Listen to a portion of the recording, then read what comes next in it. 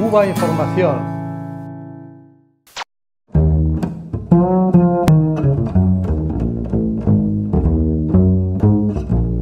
El Parlamento Europeo es la representación de la hipocresía, el cinismo y el doble rasero en materia de política internacional. ¿Dónde están las condenas a las recientes 14 muertes por represión policial en Bogotá? ¿O a las 47 masacres en Colombia en lo que va de año con el asesinato de 190 líderes sociales y 43 exguerrilleros firmantes de la paz? En el último año y medio han caído decenas de personas por represión en Chile, Bolivia, Ecuador o Haití, pero ni una condena. Ahora, si se trata de Cuba, la cosa cambia. En noviembre de 2019, el Parlamento Europeo condenaba la detención del disidente cubano José Daniel Ferrer.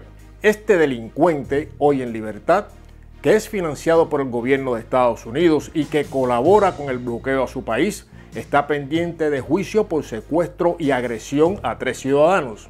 Dita Charanzova, vicepresidenta del Parlamento Europeo, decía que el caso Ferrer era una violación del acuerdo de cooperación y diálogo político Unión Europea-Cuba, porque el objetivo de la derecha europea y la disidencia cubana es claro, destruir dicho acuerdo, regresando a las sanciones de la derogada posición común.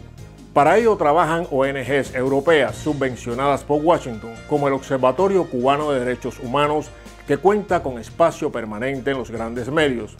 Es la doble moral de la vieja Europa que, sin política exterior propia, ha quedado convertida en un vergonzoso vasallo.